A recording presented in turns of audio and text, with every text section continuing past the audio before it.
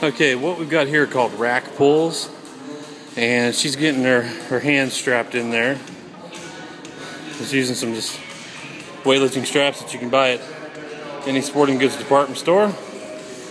Nothing fancy. Getting her hands on there real tight so she doesn't have to hold on so tight with her hands. She can just pull their back muscles. So, she's gonna pull it up off the rack. Stand up straight, bend down just right to her knees, and pull up, rolling her shoulders up and back, squeezing back. What this is gonna do, it's an overall back workout, but it really helps thicken up that back. Gives you more muscle depth, basically makes your back look better. That's the bottom line.